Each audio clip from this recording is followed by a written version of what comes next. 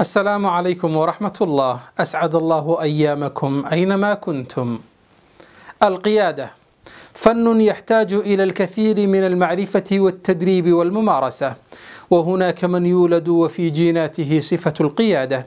لكن هذا لا يعني أنها صفة صعبة المنال بل هي صفة يكتسبها الإنسان ويكون مؤهلا لها إذا حصل بعض المهارات الضرورية للقائد مثل المهارة الفنية والإنسانية والتنظيمية والفكرية. أما في مجتمعنا الصومالي المعايير مغايرة تماما لما هو معتبر عند شعوب العالم. فطلبك للقيادة يعتمد على قوة النفوذ عند قبيلتك ومصدر التمويل عندك ولا يهم هل هذا من مصلحة البلد أم لا. كما لا أحد سيسأل كم من الثروات نهب من خيرات البلد وكم أسرف. المهم أنه ابن القبيلة والمنطقة وليفعل ما يشاء.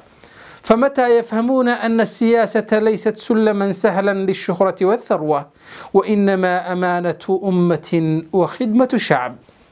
أستحضر صورة رئيس الوزراء الياباني الذي اعتذر بالانحناء علنا أمام الشعب عن تصريحات كاذبة له.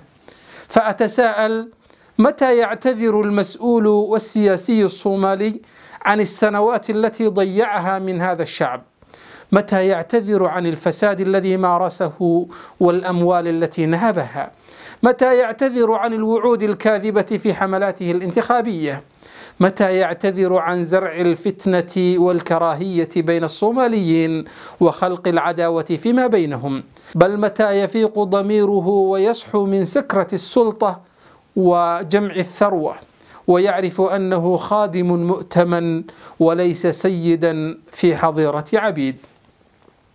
لابد للمجتمعات البشرية جميعها أن يكون لديها قيادة تقوم بترتيب حياتها وتقيم العدل والمساواة بين أفرادها وتسعى إلى تحقيق أهداف الأفراد والمجتمع. كما ينبغي أن تأتي هذه القيادة برضا الشعب لخدمته. فإذا أردنا لهذا البلد أن يخرج من براثن الفساد والتخلف والنزاعات القبلية والمناطقية التي لا تهدف إلى شيء سوى موت الكثير من شباب البلد فلا بد أن نعيد النظر إلى آلية اختيار قادتنا. يقول النبي يوسف عليه السلام لما طلب من حاكم مصر آنذاك أن يسلمه مقاليد خزينة الدولة لأنه رأى أنه مؤهل لذلك وأنه الأمثل في إدارة اقتصاد البلد أكثر من غيره.